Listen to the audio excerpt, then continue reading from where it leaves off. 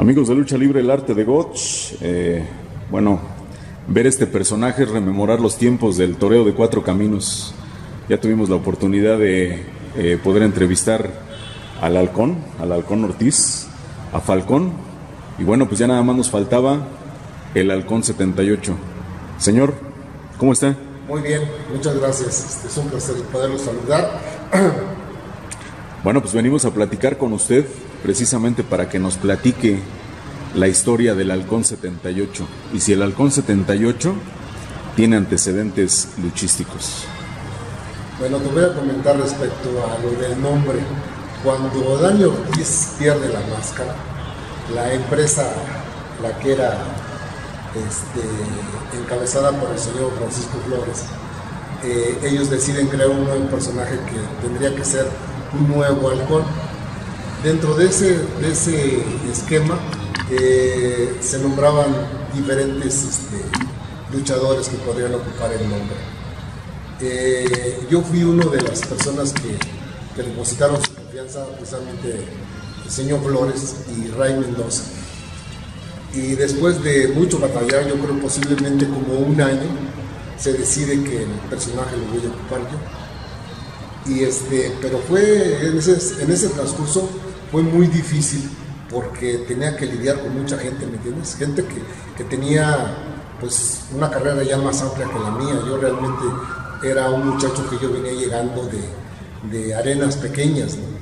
donde a mí me conoce precisamente Ray Mendoza y él deposita su confianza en mí y pues trato de esmerarme lo más que puedo para poderlo ocupar y definitivamente se me otorga a mí el nombre y es cuando surge precisamente en el año del 78 el Halcón 78, ¿entiendes? Y a raíz de, de mi debut empiezo yo a despegar, a, consolidarme como, como ya un luchador estrella, ya con todas las grandes estrellas desde el Santo, Mil Máscaras, Huracán Ramírez, Rayo de Jalisco, René Guajardo, Ray Mendoza, o sea, todas las figuras de Blue Demon, el Santo, o sea, todas las, las personas este, importantes que han dejado su huella en el Pancracio Nacional de la Lucha Libre Mexicana e internacional.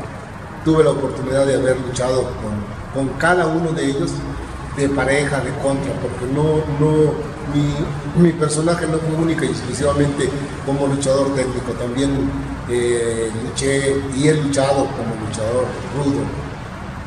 ¿De dónde es originario el Halcón 78? Del Distrito Federal. Del DF. ¿Y tiene usted antecedentes luchísticos o de qué manera eh, le llega a usted el interés por la lucha libre? Fíjate que es una cosa realmente graciosa. Yo no tengo ningún familiar que, que hubiera sido luchador. En donde yo vivía y vivo actualmente existía una arena. Y yo tenía un vecino que él era luchador.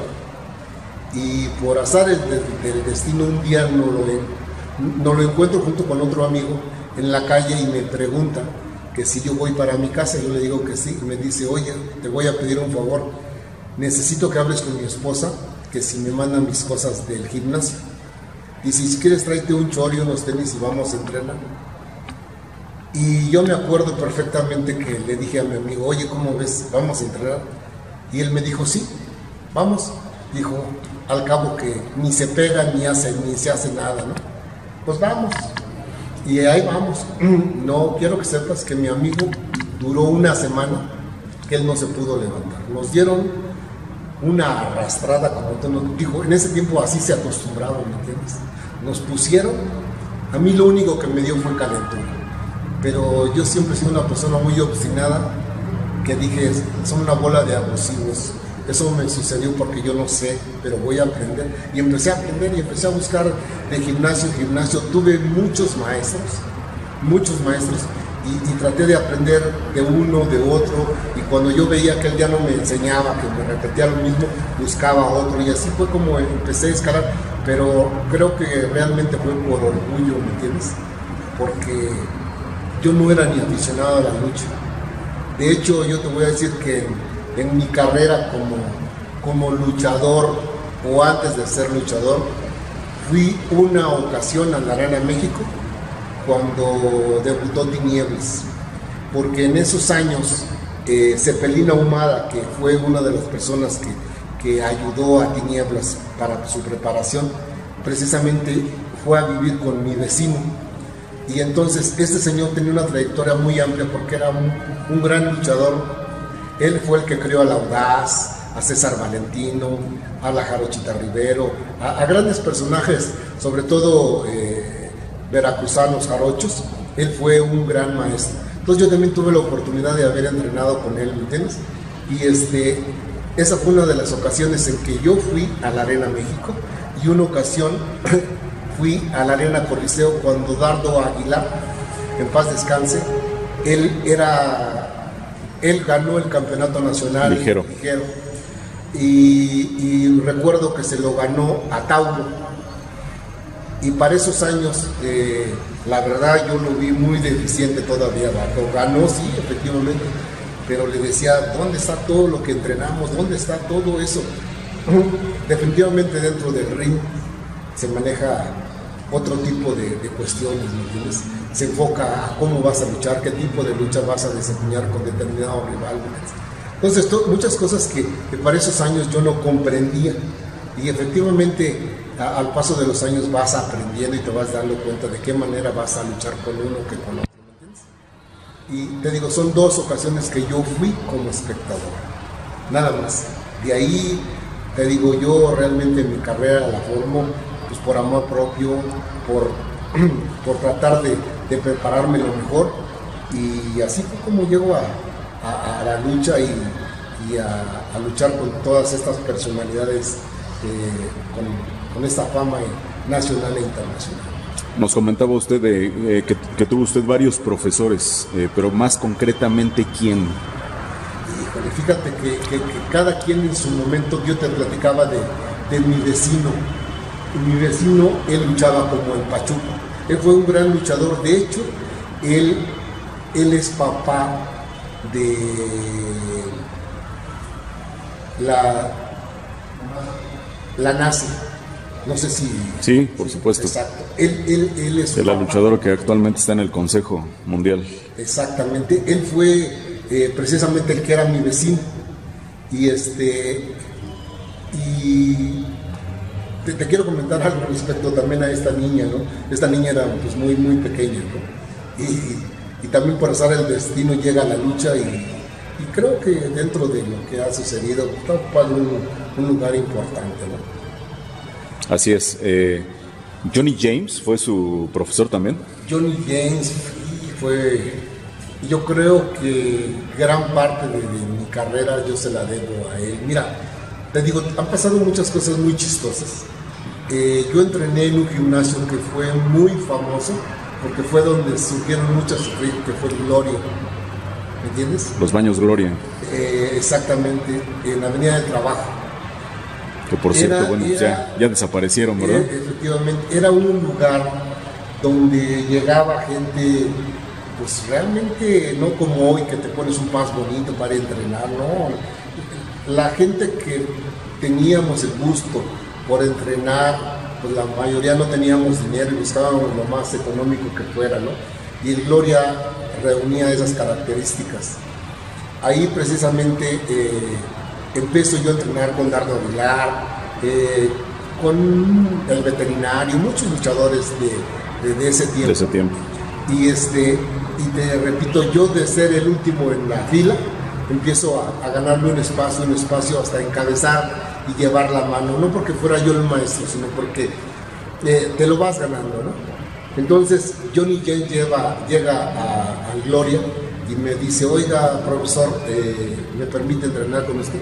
En esos años el que te dijeran profesor era ofensivo porque eh, había mucho respeto por quien fuera maestro, ¿me entiendes? No como hoy que, que cualquiera cree poder ser maestro, ¿no? Y le dije, no, yo no soy el maestro, pero si quiere fórmese al último.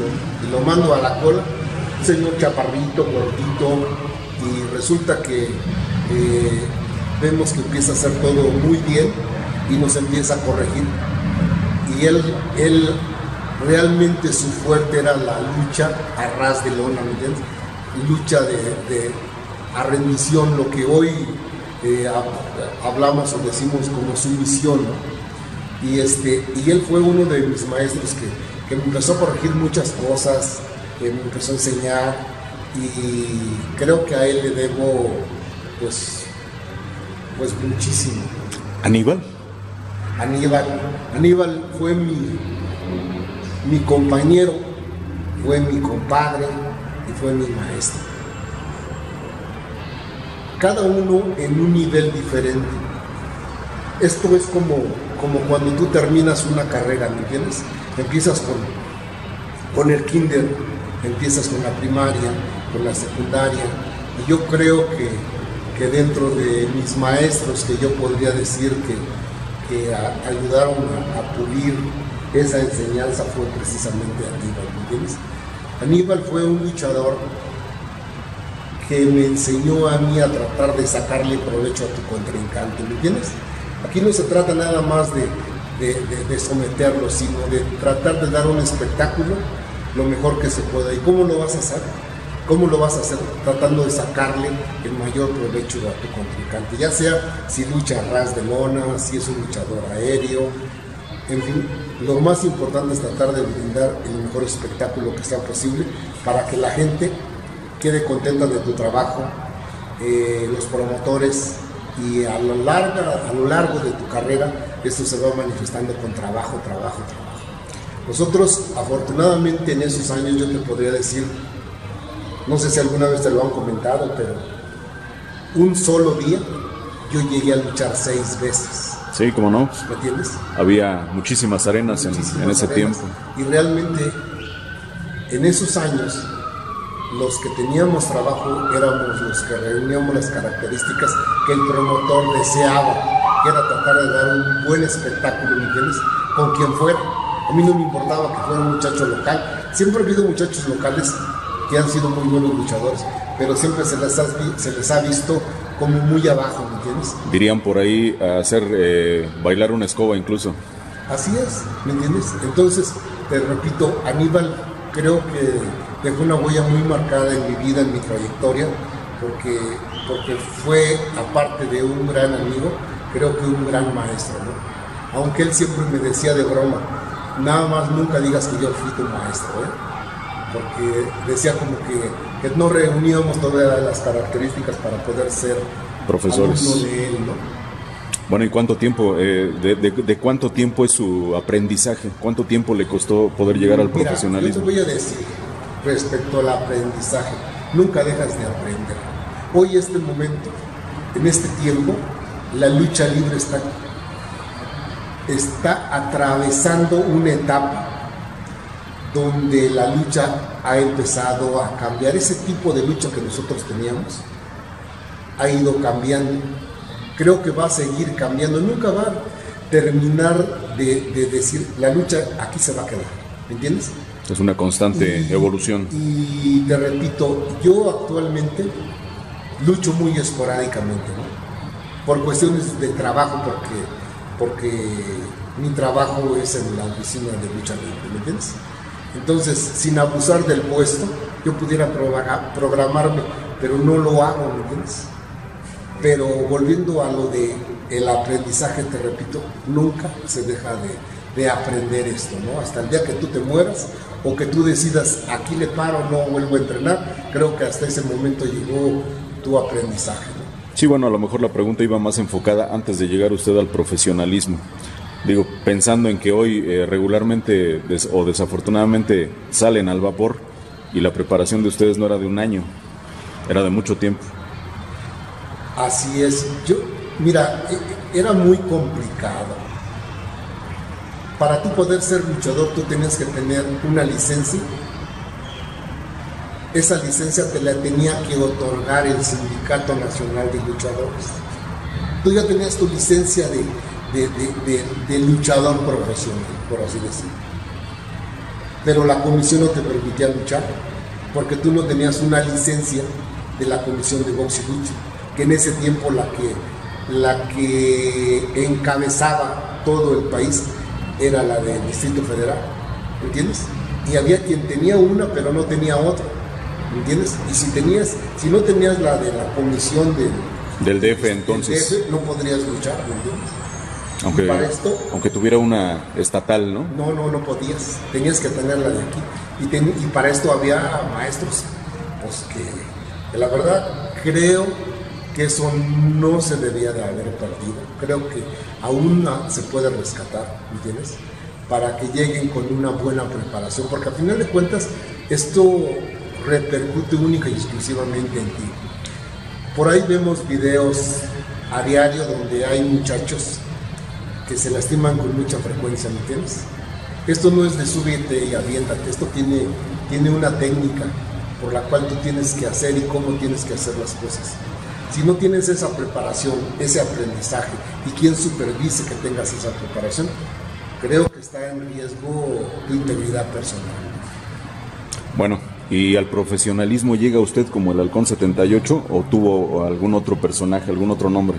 Tuve un otro personaje, pero realmente duré muy poco tiempo con el, con el personaje. Inmediatamente fijaron la mirada en mí pensando en que podría yo eh, ocupar el, el personaje y inmediatamente me, como ocho meses, algo así, un año tal vez, me dan el, nombre, te repito, del halcón y, pues empieza mi carrera, empiezo mi carrera y, creo que, que, empecé con el pie derecho. ¿Y desde el inicio en la Cueva Independiente? Sí, yo realmente siempre fui independiente. Yo trabajé para la Arena México, para la Arena Coliseo, ya sea de México, de Monterrey, de Acapulco, de, todas las plazas que tenía la empresa mexicana de lucha libre, ¿entiendes? Pero única y exclusivamente por, por fechas. Yo nunca pertenecía a la Arena México, aunque hubo varias ocasiones en que mm, llegamos a tener alguna plática, ¿me entiendes? Donde había la posibilidad de integrarse a la Arena México, pero honestamente en esos años eh, los independientes atravesaban por una etapa muy importante, tan importante que sus grandes estrellas de la Arena México, te repito, como, como Rey Mendoza, como Guajardo, como Aníbal, el Ángel Blanco, como el Ángel Blanco, como Wagner, todas esas estrellas que eran las de la Arena México, ellos regresan, o más bien no regresan, se van, ¿me entiendes?, al torneo de cuatro caminos como luchadores independientes. Entonces, pensando, dije, creo que mi lugar está aquí, ¿me entiendes? Aunque nunca he descartado la posibilidad de que pues vas a donde te convenga realmente. Claro. Y en esos años, pues a mí me convino el, estar en, en, lucha libre internacional. Bueno, ¿y desde un principio lo unen a Falcón? No, fíjate, aquí pasó también una cosa eh, pues chistosa realmente, porque eh, Falcón surge, yo creo, como unos cuatro años después, tres años aproximadamente, de, que surge, surge el Halcón 78.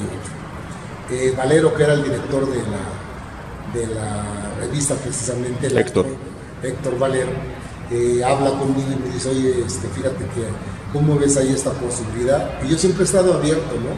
Si eso va a tener algún beneficio para mí, por mí encantado de la vida. ¿no? Eh, lo que sí yo creo que, que, es, es que es más difícil. Es difícil triunfar uno, triunfar dos es más difícil, ¿me entiendes? Así es. Eh, afortunadamente tuvimos una, una, una trayectoria donde eh, podíamos trabajar uno u otro, ¿no? El hecho de ser pareja no incluía que a todos los eventos teníamos que ir, ¿me entiendes?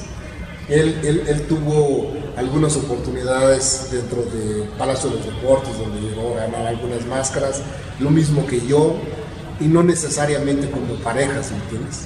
Por ejemplo, en el Palacio de los Deportes nosotros le ganamos la máscara a los comandos, pero nosotros no al Falcón, sino Solar y yo, ¿me entiendes? Y, Solar primero. Exacto. Y, te digo, eso no, no, era, no era que estuviéramos siempre unidos, o sea, había diversidad en cuanto a, las necesidades que requería un programa. Hoy podía ser mi pareja, mañana no, y, pero seguíamos siendo parejas. Y el aficionado de ese entonces sí diferenciaba entre eh, los halcones. Esto se lo comento porque el aficionado de hoy regularmente dice, ¿y por qué tantos halcones? O sea, el primer halcón se supone que surge en, la persona de... Eh, José Luis Melchor o el halcón, posteriormente el super halcón. Después surge usted, como me está usted contando, y posteriormente surgiría Falcón. No, primero surge Halcón, que fue Dani Y después surge Halcón 78. Y, y, Dani se convierte en, no, ya no era Halcón, él era Dani Ortiz. El Halcón Ortiz, ya desenmascarado. Exactamente. Era Dani Ortiz y lo ligaban precisamente al personaje del Halcón Ortiz. Pero él desaparece un muy buen tiempo como halcón, ¿me entiendes? Sí, sí, sí. Hasta que nuevamente aparece como super halcón, ¿me entiendes? Y precisamente eso fue lo que sucede para que en un momento determinado hay, exista un cambio entre el halcón y el mexicano, ¿me entiendes? Porque ahorita tú comentas una cosa que, que lo veía venir mucho eh, Antonio Peña. Antonio Peña estaba muy enfocado a los personajes y él siempre a mí me apoyó y me dijo, mira, si yo te hubiera conocido en otro tiempo, ahorita tú fueras un mega estrella, pero por los tiempos que manejamos, estamos hablando de que existe halcón, super halcón, falcón, halcón dorado, eh, halcón... El pequeño halcón. El pequeño halcón. Había otro halcón suriano. El halcón suriano. Eh, había como 10 halcones. Entonces me dice, mm, yo creo que va a haber necesidad de cambiarte. Te repito, yo siempre he estado abierto, dije, bueno, si al final de cuentas eso me, conviene, pues por mí adelante. ¿Me entiendes? Entonces en una plática, yo me acuerdo que, que Solar precisamente me, me da una patada por abajo de la mesa y, donde lo volteó a ver me dice que no, que cómo va a ser posible que, que yo este, sí, ya con una trayectoria, ¿no? digo sí a, algo que yo no sé qué va a pasar, ¿me entiendes? Te repito, el, estar siempre abierto a las posibilidades de, de cambiar, de, de, triunfar, porque al final de cuentas esto es de, triunfar y de, tener una posición mejor que la que tú tienes. Claro. ¿Me entiendes? Y tan es así que Solar, que también tiene y tuvo una muy buena trayectoria, él después se convierte en un personaje donde viene siendo mi pareja. Así pero es. ya no como halcón, el mariachi, sino como el mexicano, así es, ¿me entiendes? Entonces creo que el equivocado no era yo, era él, ¿me entiendes? Viendo las posibilidades de triunfo y, de solvencia económica, era decir, adelante. Pero bueno, eh, ya nos adelantamos un poquito a, la cuestión del mexicano, digo, porque el Halcón 78, bueno, eh, hace ratito nos comentaba usted de las máscaras de los comandos, sí. pero no fue lo único. Hubo muchas cuestiones, incluso el nacional semicompleto. Yo fui campeón nacional semicompleto, eh, obtuve premios por haber sido uno de los mejores campeones que tuvo más defensas. Fíjate, te voy a platicar. Yo no soy muy dado a, a guardar cosas. Eh, yo soy de las personas que te podría mencionar que si yo tenía 100 trofeos, eran pocos, ¿me entiendes? Eh, mi hijo estaba chico, no sé si él recuerda. El Halcón Junior. Así es. Y, y, él estaba en la escuela y, este, y yo regalé trofeos para los niños que sean competencias de, atletismo, ¿me entiendes? Porque yo ya no quería tantos trofeos, porque realmente ocupaban eh, un espacio donde pues, yo decía que, era más importante otras cosas que yo tenía, ¿me entiendes? Y, no, no, les puse mucha, eh, mucho cuidado a ese tipo de trofeos porque realmente no eran muy representativos. Te voy a platicar porque había muchos eventos donde, eh, por ejemplo,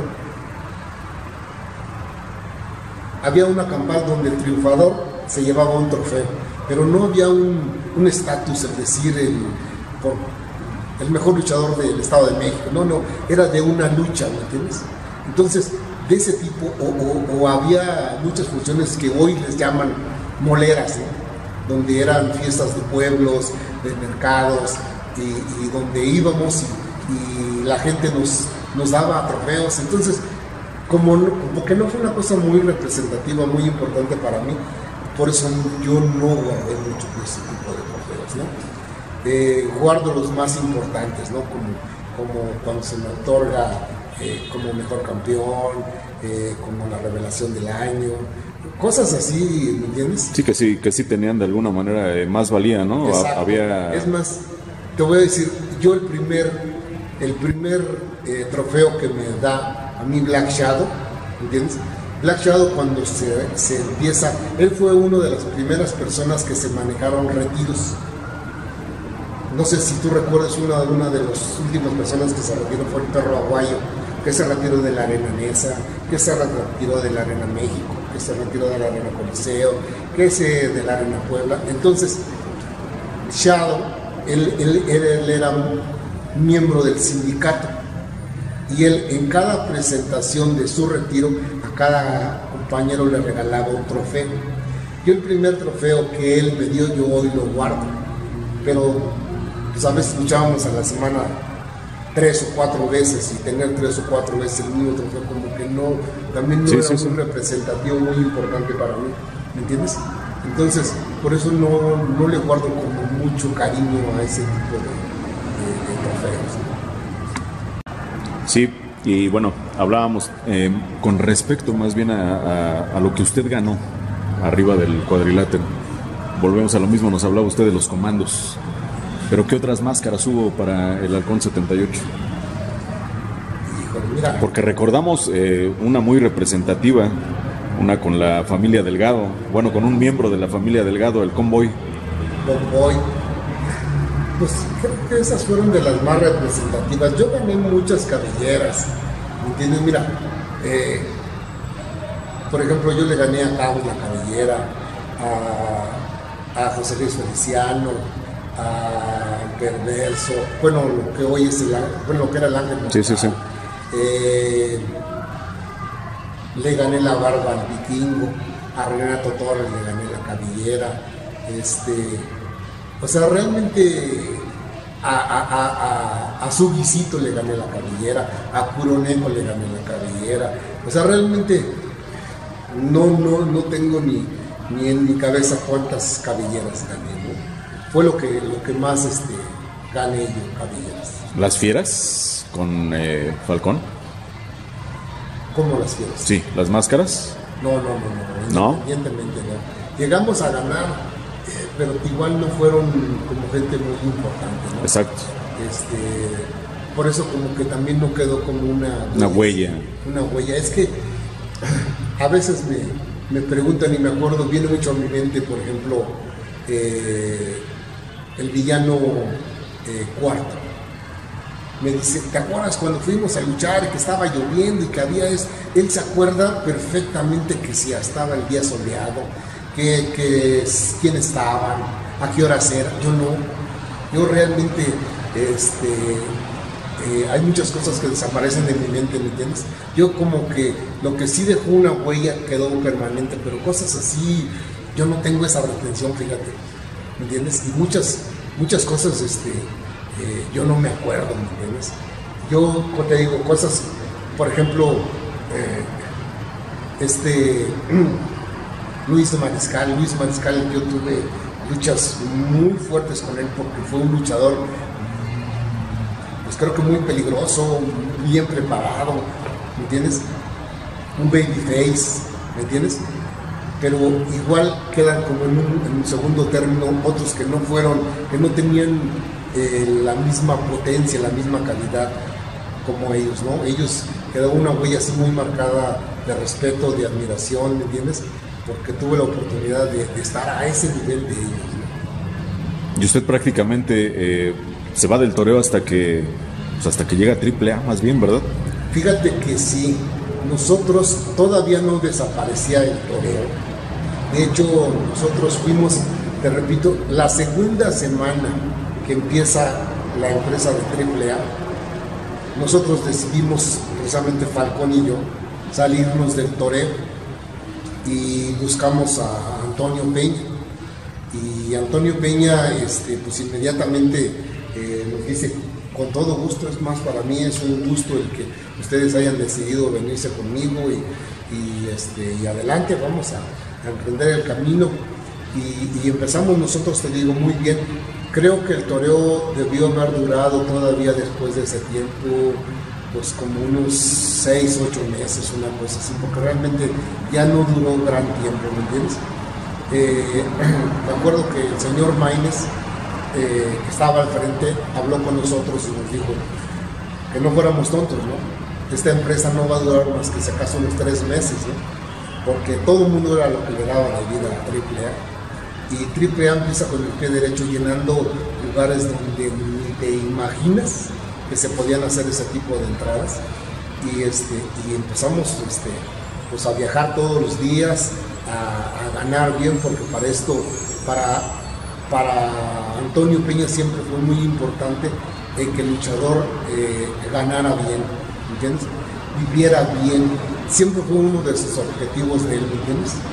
Y, este, y, empezamos, te digo, trabajando todos los días, viajando todos los días y había lugares donde hoy ya no lo hacen, pero ir a Querétaro te pagaban hotel, que realmente no lo necesitaban. Es muy cerca de, la ciudad. Y luchas y vámonos, ¿me entiendes? León, muchos lugares donde al final de cuentas la misma empresa empieza a corregir ciertas cosas donde dice, vamos a proteger al promotor para que no gaste esta cantidad y se le va a pagar eso, pero, pero se empezó a manejar otro nivel, ¿me entiendes? Podías viajar en AU, ¿me entiendes? En ese tiempo viajábamos puro lo que era ETN, puro puro transporte. Sí, pura línea de lujo. Exacto.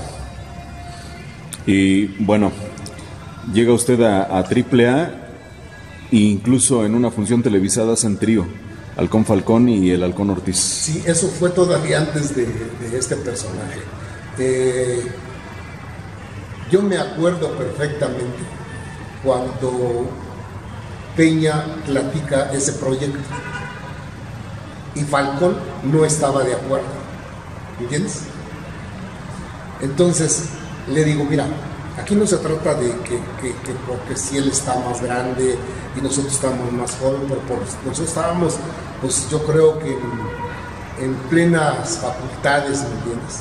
En plena madurez luchística, ¿no? Yo creo que él ya no seguía siendo un gran luchador, ¿me entiendes? Y te repito, yo siempre, no es el, el hecho de que yo sea ventajoso, sino de tratar de, que, lo que tú tengas a tu alrededor, que sirva, que cumpla un cometido que es en tu beneficio, ¿me entiendes? Efectivamente él tenía más nombre que nosotros. Entonces, pues vamos a formar el CRI y vamos a aprovecharlo y, que funcione. De hecho, funcionó. ¿Me entiendes? Lo mismo, eh, empezamos con que el promotor no podía llevar a los tres porque era un mismo concepto, ¿me entiendes? Entonces prefería llevar a lo mejor a un octagón, a un fuerza guerrera, a, unos capos o un capo o dos, eh, a un volador, misterioso y a lo mejor llevar un halcón, pero no llevar tres, ¿me entiendes? Entonces es donde empezamos a ver que, que es más de más beneficio el no tener una tercia sino trabajar cada quien independiente como siempre lo hemos hecho, ¿me entiendes? O a lo mejor hasta como pareja, ¿me entiendes? ¿Llegó, ¿Llegó usted a tener alguna diferencia con el Halcón Ortiz precisamente por el nombre? Fíjate que no, yo una ocasión, siendo a, inicios del personaje, yo entrenaba, te repito, en el, en el Gloria y llego y me dicen que me había ido a buscar. Y pues en ese tiempo joven, ¿no? Dije, pues me hubiera esperado, o sea, no tardé más que, ¿no? Me esperó un buen rato, Fue la única vez que yo supe que él como que no estaba muy de acuerdo, Cuando, cuando formamos la tercia, en la plática sale. Oye, a mí me comentaron que un día me, andaban buscando. Y me dijo, no, ¿cómo crees? Tengo muy claro que a ti te dieron un personaje que te ayudó y que eso sucedió exactamente conmigo, porque el personaje no era mí, el personaje a mí me lo están dando y trato de sacarle el provecho que yo, que, pueda más bien, y es lo mismo que, que tú debes de hacer y no Fue la única vez que, que platicamos. De hecho, yo te voy a decir, pocas veces eh, nos hemos visto, porque te repito, eh, mismo con Falcón, o sea, por alguna razón nos llegamos a encontrar en, algún evento, hola, ¿cómo estás? ¿Cómo te ha ido? Y, adiós, ¿no? Dani lo mismo, ¿no? Pero digamos que personalmente con Falcón eh, sí llegó a haber algún, alguna amistad. Sí, sí, sí, sí. También con Dani, ¿me entiendes?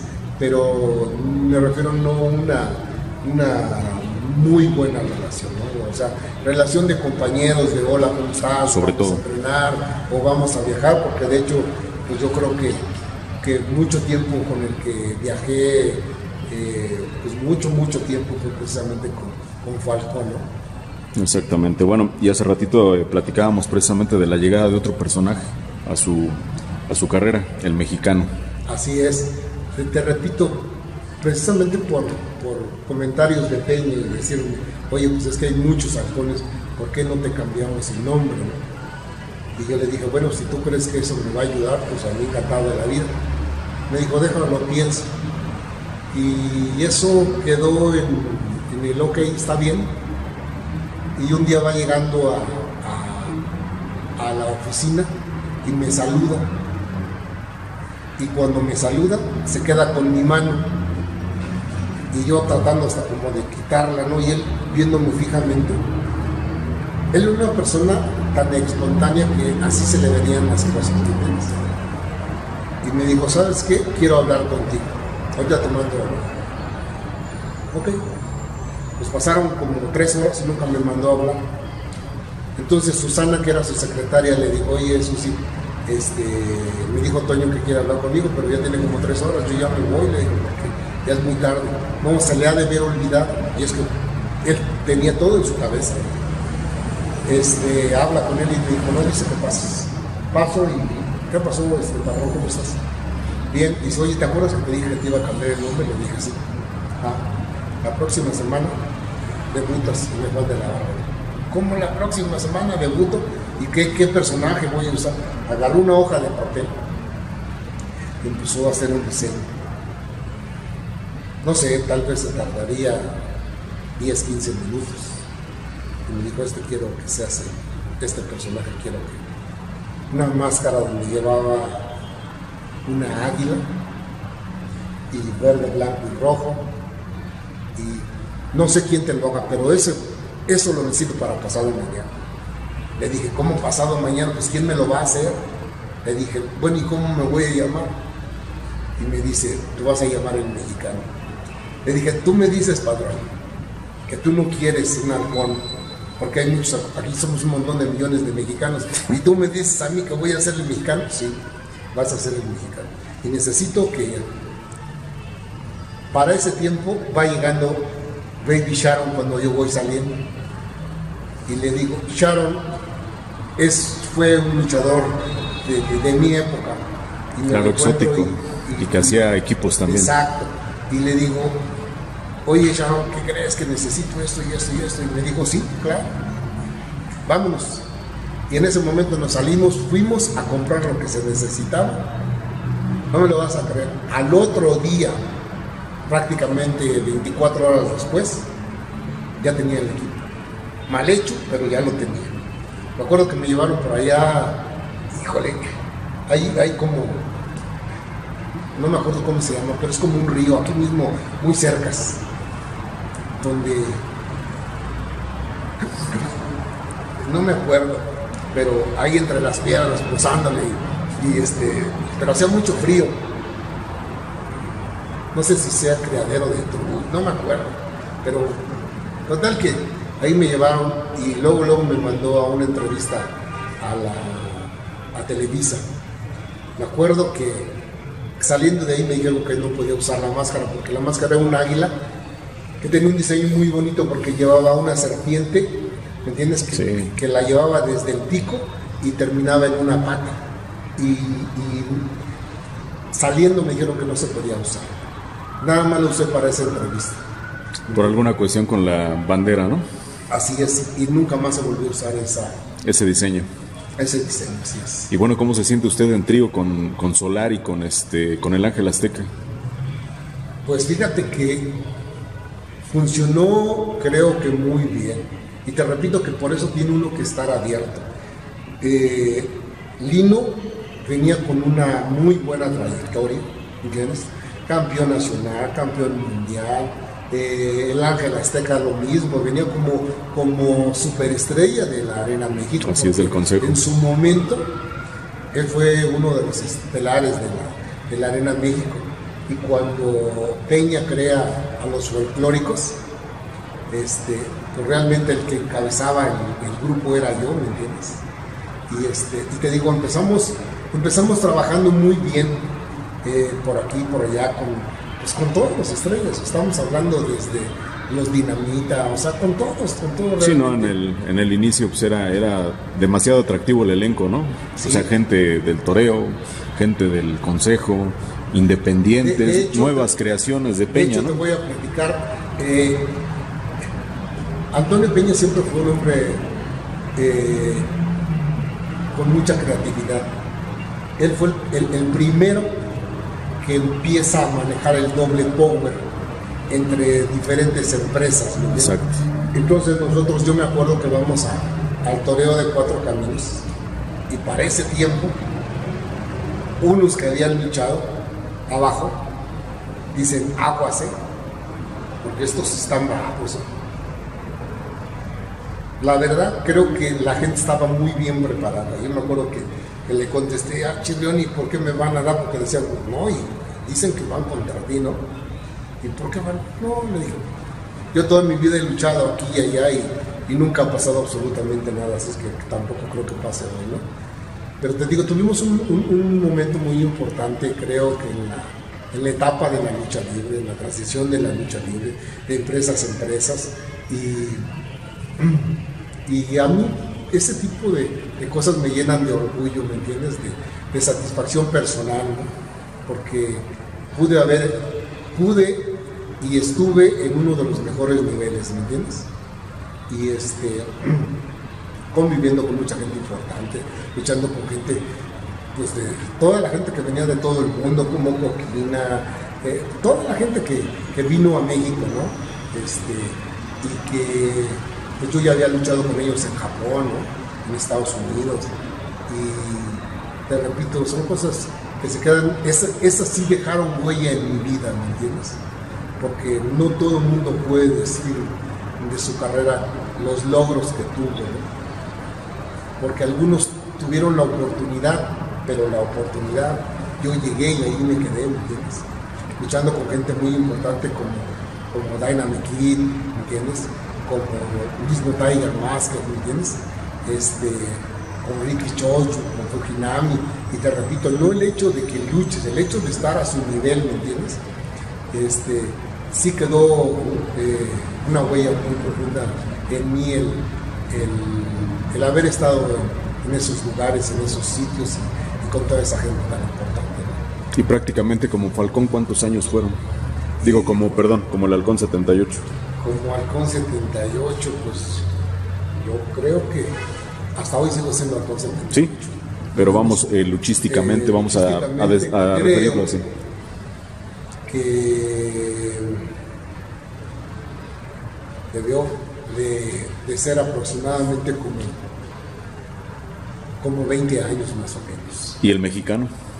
Pues yo creo el mexicano estamos hablando, fíjate, nunca he hecho cuentas, 78, 80, eh, pues yo creo alrededor igual de unos 20 años, ¿sabes por qué? Porque ya se, ya se hizo el cambio entre personajes. Hoy llego a luchar muy esporádicamente, ¿me entiendes? No porque no, no pueda, sino por cuestiones de trabajo, de oficina. Pero tú me quieres llevar a mí como halcón, yo voy como halcón. Tú me quieres llevar como mexicano, yo voy como mexicano. ¿Me entiendes? A mí me preguntan, ¿por qué te retiras? No me he retirado. ¿Me entiendes? Yo sigo entrenando aquí en este gimnasio. Ahorita no sé si te dices cuenta, pero todos subimos ahorita. ¿Me entiendes? Yo antes de empezar a entrenar, subo 10 veces y bajo 10 veces, corriendo, ¿me entiendes? Dándole toda la vuelta. Ese, e- ese es su calentamiento, vamos a decirlo así. calentamiento, ¿me entiendes? porque a mí así me enseñaron. A mí me enseñaron que lo más importante en la lucha libre es la condición, ¿entiendes? Y ya después me enfoco a otro tipo de cosas, ¿me entiendes? Que, que son tan importantes, te repito, pero tratando de cuidar la integridad siempre de los muchachos, de la gente joven, ¿me entiendes? Porque mucha gente joven, por no haber tenido esa preparación, antes de haber debutado ya se habían lastimado y se habían retirado. Y los cariños hacia los personajes. Supongo que no hay, eh, no tiene más cariño no, ahora sí que uno por uno que por otro, ¿verdad? No, yo creo que a los dos personajes eh, los quiero muchísimo porque los dos en su momento eh, pues me dieron lo que, lo que yo quise, ¿no? Me dieron a ganar eh, dinero, me dieron a ganar un lugar. yo creo, y no es por vanidad, creo que, que la lucha libre me dio lo que, lo que yo necesito hizo de mí eh, una persona responsable, ¿entiendes? Eh, que, hoy, hoy tengo 61 años, ¿entiendes? Y, la lucha libre me ha, me ha marcado. Yo el único día que yo no entreno son los lunes. Hasta los domingos yo entreno, ¿entiendes? Esa es la disciplina que a mí me dejó la lucha libre, ¿entiendes? Por eso mi amor y mi pasión, porque yo creo que ya mi amor es pasión a, la lucha libre. Por eso trato yo de defenderla en todo lo que yo puedo. Tratando de, de, ponerla en un mejor lugar. ¿Entiendes? Y a la gente que yo enseño, les enseño precisamente eso. ¿entiendes? Porque saliéndome tantito de que la lucha libre no nada más requiere de una preparación no nada más requiere de una imagen que se venda. ¿Entiendes? Tienes que reunir ciertas características como imagen personal, que tengas una apariencia, una buena apariencia física, ¿entiendes? Que llegues bien vestido a las arenas. La gente, el verte como lo que te quiere ver, es una parte tan importante que hoy lo han descuidado enormemente, sobre todo en México ¿me entiendes? Donde llegan de chanclas, llegan de chorro, donde realmente como persona pública es una vergüenza que tú llegues en esas condiciones, ¿me entiendes? Yo creo que la manera de pagarle algo a lo que te ha dado todo es ponerla en un buen lugar, ¿me entiendes? ¿Cuándo, ¿Cuándo empieza a desaparecer el mexicano de las carteleras? Eh, te repito, yo soy muy malo para las fechas. Para las fechas. Pero, realmente eh, empieza a disminuir, a bajar cuando yo entro a trabajar a AAA. ¿Entiendes? Eh, yo entro a, a AAA y entro al departamento de programación. Es un departamento muy conflictivo porque yo no manejo las cosas a mi manera. Yo soy, haz de cuenta que soy un vendedor que si tú me dices, a mí deme ese refresco, yo te lo doy, oiga, pero tengo este, no, yo quiero ese. Entonces esa es mi, mi labor en, la empresa de conformar programas del agrado de tu presupuesto, ¿entiendes? Pero también creo que sería eh, pues muy malo de mi parte decir que tengo el mexicano, llévate el mexicano, llévate el mexicano, ¿me entiendes? Entonces, eh, llega el momento en que en mi carrera ya no es tan importante el que yo luche ¿me entiendes? Y que aparte de eso no me pusieron para, para que yo me programe. Eh, Peña siempre decía mucho una, una, palabra, porque dos o tres veces me llamó la atención porque yo me programaba y un tiempo me dejé de programar y cuando me llamó me dijo, ¿y por qué lo había hecho? Porque tú me dijiste, padrón. Me dijo, tú no me hagas caso. Dijo, nada más no abuses, porque Dios nos va a castigar a ti por abusivo y a mí por, bueno, ya sabrás por. ¿Me entiendes? Entonces yo nunca he abusado de la situación ni del puesto, ¿me entiendes? Te repito, hoy, eh, porque tuve una lesión que apenas estoy saliendo, creo que ha sido la lesión más grande que he tenido. ¿En su brazo? En así es, en mi carrera, ¿me entiendes? Este, que prácticamente eh, yo mismo opté por, por no seguir luchando, porque creo que el público no se merece eh, esa actuación de mi parte, ¿me entiendes?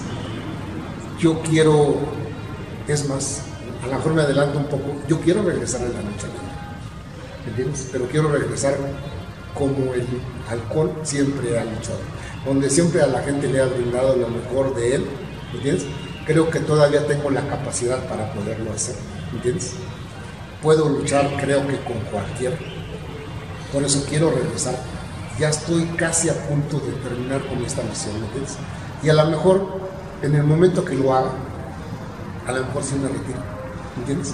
Porque es mi gusto por quererlo, quererlo hacer, y, pero te repito, tratarlo de hacer en las, mejor, en las mejores condiciones. Hoy hay muchos compañeros que yo los he visto, les cuesta mucho trabajo moverse. Entonces ya es como muy penoso eh, que te vean en esas condiciones. Cuando te admiraban, viéndote que estabas en plenitud de facultades, a mí se me hace como una falta de respeto hacia el público, que tú lo sigas haciendo. ¿no? Bueno, y volviendo un, un poquito a lo, a lo luchístico, ¿qué le significó a usted el derrumbe del Toreo de Cuatro Caminos? Mira, realmente fue un, golpe duro porque pues, se puede decir que nacimos en una empresa donde al paso del tiempo vemos que, que se empieza a acabar. Pero creo que no era el momento de, de decir, bueno, hasta aquí llegamos. ¿no?